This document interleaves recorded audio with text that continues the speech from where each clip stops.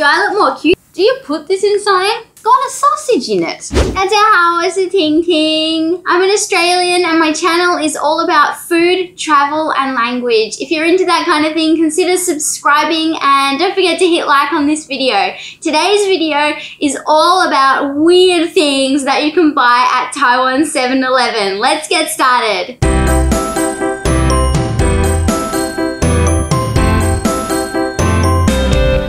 Okay, so this is my fourth year living in Kaohsiung, Taiwan now, and I visit 7-Eleven convenience store on a regular basis because it's just very convenient and it's everywhere.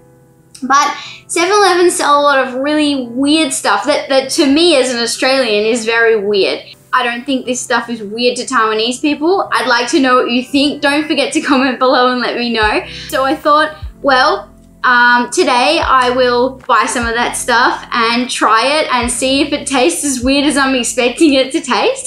so today I've got five weird things that you can buy at Taiwan 7-Eleven.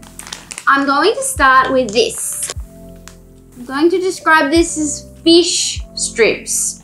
I've actually seen a similar thing in Costco before and the first time that I ate something like this was at someone's house when we um, went for a cup of tea and they served this along with the tea.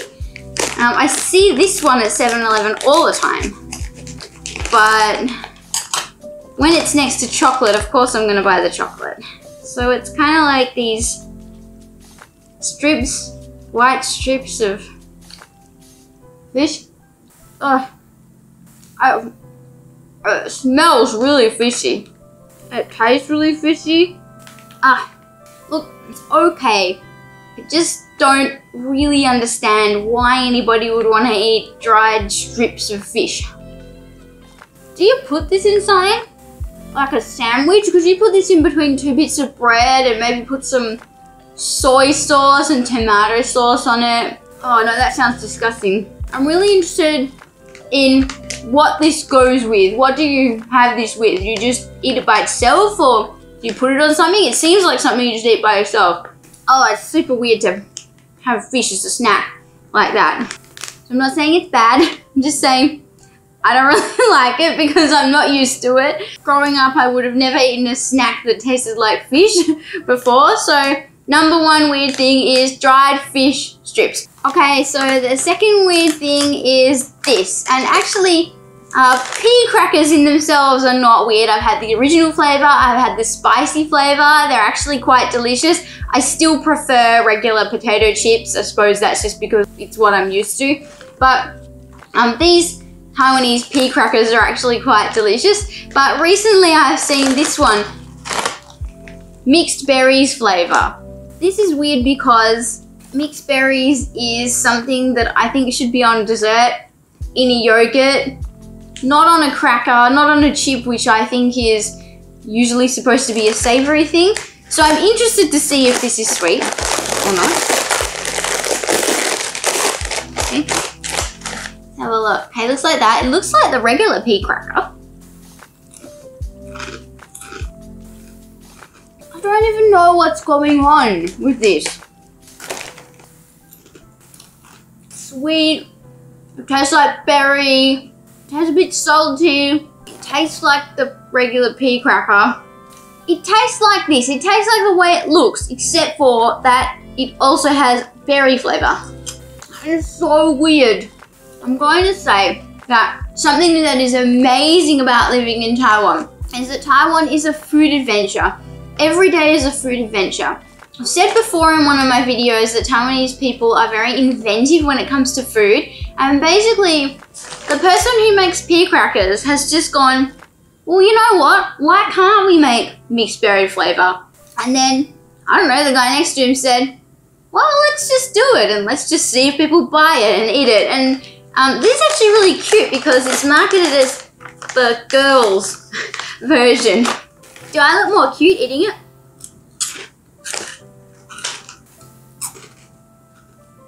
Nah, I don't think I'm cute enough to be a political girl. Sorry, guys. Weird. Okay? That's the second weird thing.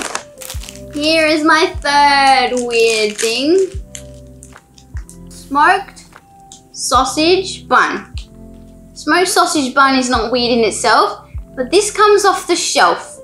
And its shelf life is three days. It can be kept at 28 degrees or below for three days. Got a sausage in it, and that's just weird.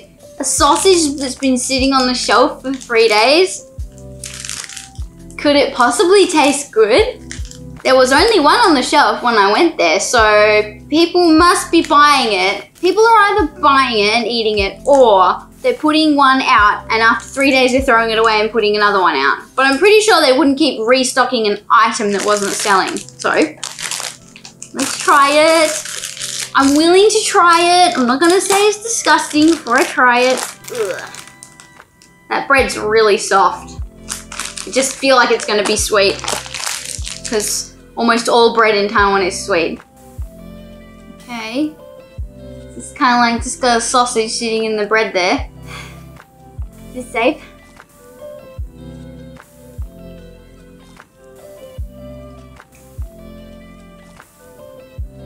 I think that the reason why I don't like it is all in my mind. I actually think there's probably nothing wrong with this hot dog which has been on the shelf for three days. I just think that because I know it's been on the shelf for three days, I feel like that's not right. Something in my mind tells me this isn't right. But you know what? It tastes just like a hot dog. I don't even know how they do that. I don't even know how it tastes exactly the same when it's meat that's been sitting at room temperature for three days. So weird, so weird. This is so much fun. Who would think that going down to the convenience store and buying a few things that you never eaten before could be so much fun? My hope is, and my goal for when you watch my videos is, I hope that you'll smile. Maybe you'll even laugh if I manage to do something funny enough. If you laugh, if you smile when I watch my videos, then I've reached my goal. okay, so this is uh, weird thing number four out of five. So if you're a person that can't read Chinese, you're just gonna look at that and what do you think it is? Well, I tell you what I would think it was if I couldn't read it and didn't know what it was. Cubes of poo. This is dougan, which is dried tofu. Usually dougan, when I think of that word, I'm thinking of something that I might have in a Taiwanese restaurant. It's tofu that is marinated in soy sauce and it's actually really delicious, but it does not look like this. So let's see what the 7-Eleven Dougan is like. Do you think it might be a bit like beef jerky, except for that it's not meat? Kind of brown, bit, uh, bit translucent. The outside doesn't taste like anything. Oh, it's really chewy. That has the exact flavor of dougan in the restaurant, but it looks completely different and the texture is completely different. It's so weird. I don't really understand why you would buy this as a snack. And again, it's probably just because I've not ever thought about having this as a snack. Again, if I walk into a 7-Eleven and I want a snack, I'm probably going to want a piece of fruit, a yogurt, or a chocolate bar if I want something sweet. So it would never occur to me to buy this as a snack. Is it nutritious? It's 30% protein, which is actually really high in protein. And that makes sense because I assume it's made from soybean. Okay, so this could potentially be a good snack for somebody who wanted more protein. I'll have another one, I'll give it another go. Wow, that weird chewy texture that's weird. It's weird. It's not as weird as I thought it was gonna be. okay, that's um that's fourth weird thing. Oh wow, you're still here. Thank you for still being here. We're on to the fifth and last thing, which is a drink, and it is apple milk. I don't really know why, but chocolate milk, perfectly normal. Banana milk, perfectly normal. Watermelon milk, that's the first time I've ever had that is in Taiwan, but seems pretty normal to me now. Strawberry milk, totally normal. Delicious. Apple milk, apple milk. The only thing that I can think that would be weirder than apple milk is orange milk. Orange milk would be weird. Lemon milk would be weird because that would just taste like milk that had gone off. Apple milk. Okay, I'll try you. Forgot to show you the packaging. Ugh. Wasn't really expecting it to be that color, like a, a yellow color. Like a color of banana milk should be. Why is it this color? Because the inside of apples are yellow, aren't they? Smells like apple. Ugh. It tastes exactly like you would imagine apple in milk would taste like. Oh, it's so weird. But thank you, Taiwan, for giving me all of these amazing experiences and this amazing stuff to try. Thanks for watching, guys. If you like my video, please hit like. Um, consider subscribing to my channel if you want to see more Taiwan, more food, more language, more travel stuff. And uh, my name's Ting Ting, and I'll see you next time in Taiwan. Bye. Ugh. Nope. Ugh, still not used to it.